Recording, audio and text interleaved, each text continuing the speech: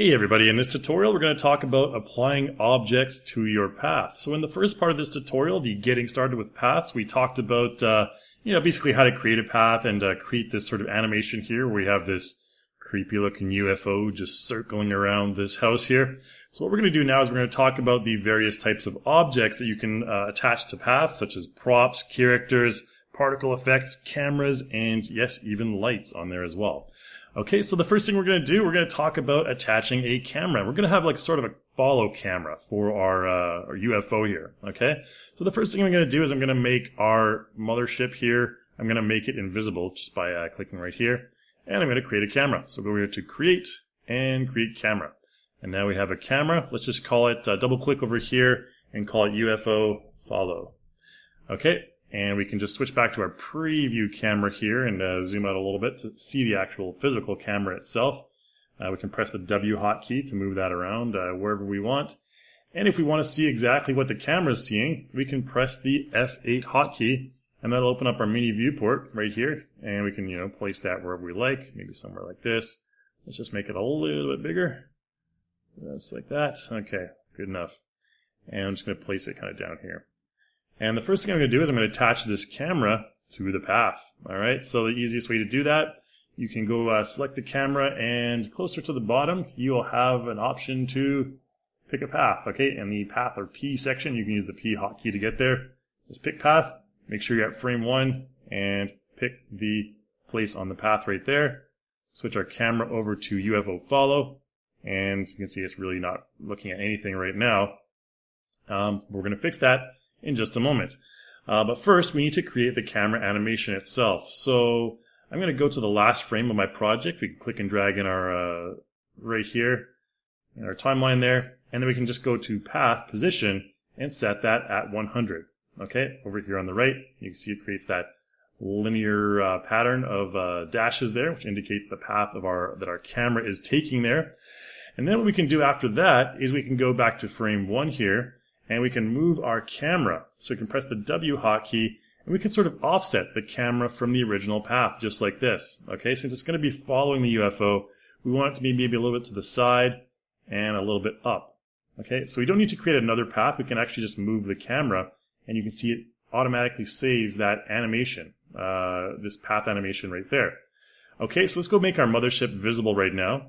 And uh, then with our camera selected, right down here, let's have the camera look at the UFO. Okay, so the easiest way to do that, we have this look at feature over here. Pick target and pick the UFO. All right, could be a little bit too far away if we want to be, uh, or a little bit too close. If we want to be further away, we can just go like this or put it whatever position we want. And I think that one should be decent right there, maybe a little bit to the side as well. And then if we play back, you can see the camera will just follow that UFO the entire way pretty cool cinematic right there. Okay, so that's how you can use the path and then you know move your prop uh, to create a separate sort of uh, animation uh, area. Okay, so we're going to go ahead and close that down. And the next thing we're going to do is we're going to have our uh, character run along the path as well. In this one, we're going to explore the uh, basically putting the path on the terrain. Okay, so if you have a path like this, it's kind of up in the sky and everything like that. Let's just make our camera invisible for now. We don't need to see that. All right. Um, I'm going to bring in a character. We're going to go to our content manager and to avatars up here, actors rather, and character. And we're going to bring in Curve Dude, Curve Man. All right. You can purchase this. Uh, you get Curve Man with the uh, Curve Editor uh, plugin in the content store there. Uh, okay, so let's go ahead and have Curve Man run along a path here. So what I'm going to do is I'm going to select this path, uh, the scene manager over here, select Mr. Curvy, and we're just going to create, I'm going to hold the control key and I'm going to click and drag to create a, another copy of that path. Okay. So we can call this, uh, you know, curve man path. Okay. And let's move over so you can kind of see that. All right. There we go. And what I want to do is with that curve man path selected, if we go up to the very top, we have the option to project it to the terrain. Okay, so if you you know instead of uh, like before we had to manipulate individual parts to uh, bring them all down to the ground plane or whatever, what we can do now is we can just take that one path and project to terrain. Okay, and you can see it goes like this, and we have that nice loop around the house. Okay, so what we're going to do is we're going to place Curve Man slightly ahead of the UFO. So the UFO is going to be basically chasing him around his own house. Okay, so I'm going to select Curve Man here. And uh, at the bottom here, we'll go ahead and uh, pick a path. And I'll just pick a random point on this path here. Uh, maybe this point right here. Okay, now the path position is currently at uh, 9.1. You can set this to whatever you want. Okay, just make sure you're at frame 1. Uh, we're at, you know, 9.1 will be fine. And then at the end of our project, so we're going to, you know, run through the entire thing. At the end of the project, you want to remember that, and you want to put 109.1. Okay, 109.1, just like that. And it'll create that uh, path animation. And what's going to happen now is you'll have the UFO chasing him, and he's kind of like levitating and moving sideways like this, which isn't very realistic. But we're going to be uh, applying uh, an animation to him momentarily. The first thing we want to do before we do that, though, is we want to make sure he's running around the path in the right direction. Okay, so right now, as you can see, he's floating to the side just like this. We want to make sure that he is facing the direction he's supposed to be facing.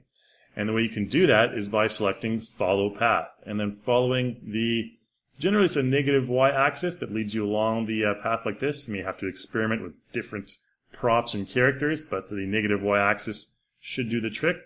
And you can go like this, and then you'll see Curveman will just kind of now he'll float he's riding a Segway or something along the uh, along the path right here. Okay, so let's go ahead and apply an animation to him just to make, make, make him look like he's running there. So I'm going to go to our content manager, to our uh, motion tab up here, and into uh, motion, and there is a uh, dwarf uh, motion run that I want that I find is very appropriate for Mr. Curve. This dwarf run right here. Okay, so we'll have uh, one frame of running just like that, and we need to make sure that the rest of it goes throughout the timeline as well. So I'm going to press F3 to go into our timeline, and with Curveman's motion track open, all right, this motion track, very important, you'll find the clip right here. Let's just hold Alt and scroll our mouse button to zoom out. Make sure that you have the loop toggled on over here, and click and drag that clip to the end of the project. And what we're going to have is Curveman running around away from the uh, UFO. Run, Forrest, run. Okay, there you go. Okay, and uh, you'll notice as well here that there's a little part closer to the end where Curveman will kind of have a little bit of a loop-de-doop-doop-doo thing here, okay? Uh, whatever that is. And uh, what we need to do here is we need to actually smooth out this uh, curve right here. So there's a little, when we projected it to the terrain, it created this little sort of weird kink in our path. So what we need to do is let's go back to uh, frame one. Let's just make our uh, Curveman, or rather the uh, prop here, the mothership, invisible. Okay, and I'm going to select that curve man path and edit point right here. I'm going to choose this point, right click it, and then select smooth. And it'll smooth it out. You can see those uh, Bezier curve handles there uh, return. If we want to unify them, we can do so again. Right click, unify tangents, and then we can, uh, you know, place it to, uh, you know, whatever tangent we want or whatever kind of curve we want. All right, just leave it like that. And uh, then if we uh, play back, we need to make sure out of edit uh, point there, make our see if Curveman does no longer do little loop-de-doop. He just kind of smoothly runs along right there. Okay, pretty cool stuff. We can now uh, reactivate or make our mothership uh, UFO visible one more time. And let's add a little particle effect onto uh, Curveman as well. So if we uh, go up to our content manager one more time, to our uh, media tab, or rather not media, the uh, props tab up here, or set tab, we have particle uh, folder. And if we get into the particle folder, I'm going to use this Popcorn Effects Library 40 uh, effect here. This is available for separate purchase from the content store. Uh, just so you're aware, uh, we have uh, weapon, explosive, magic, VFX. There's one in nature that's called car dust. Okay, not really supposed to be used for curve man running, but we can work with it. Okay, so let's just go ahead and bring this into our scene. It'll appear as a little dummy. And what we want to do at the first frame, right click. We can also right click again to assign a path. Go to path and pick path. And let's just pick that same point. Okay, right here. And you'll see that uh, at the bottom, path position is currently at 8.7. We could probably put a little bit further down, like maybe uh, 8.0 or something like that. And so it'll be a little bit further behind Curve Curveman. And then at the end of our project, the last frame, we can go here to end.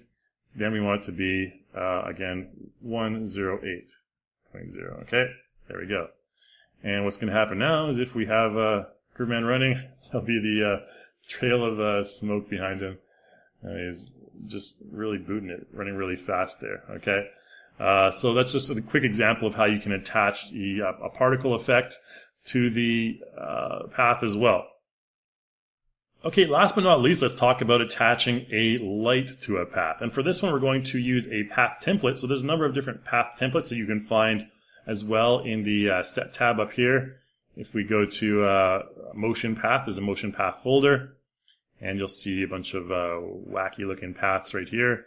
I'm just going to use a simple circle one. I'll just go ahead and double click it, add it to my scene. And you can see it'll just place it right in the middle. If I press the R hotkey to scale, we can make that uh, larger and more spread out. And uh, if we just press the W hotkey, we can bring it upwards like this. We're just going to have it basically shine on uh, the Curveman as he's running around, okay? Now, the types of light that you can attach to uh, paths are spotlights and point lights, as well as spot cast shadow casters and point shadow casters. The other lights cannot be attached to paths, so just keep that in mind, okay? So we're going to create, let's go to create a light, and then there was light, create a spotlight. And we're going to basically uh, place that spotlight. Notice we actually moved our path at the last frame here, so you can see our path will expand like this.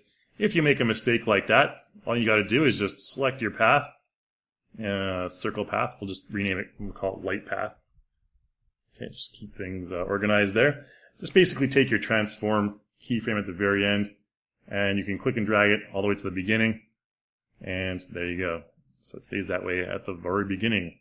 Okay, let's take the spotlight now, and we're going to have the spotlight look at uh, Curveman as he's running around there. Okay, so go ahead and pick target, pick Curve Man. All right, ended up choosing his waist. Okay, and we're also going to attach the uh, spotlight to a path again. So you can pick path, or you can right click it, select path, pick path. Let's just pick maybe this point right here.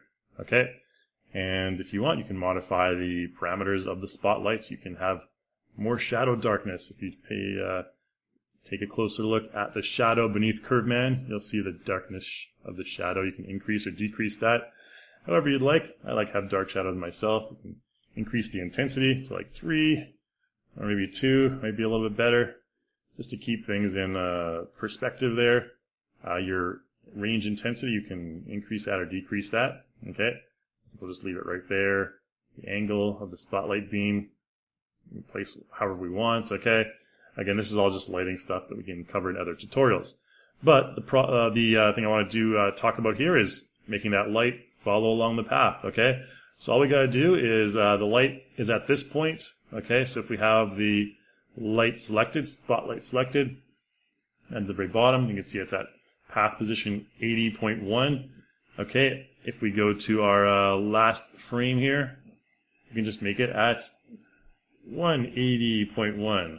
All right, and it'll create again that loop-de-loop around the path.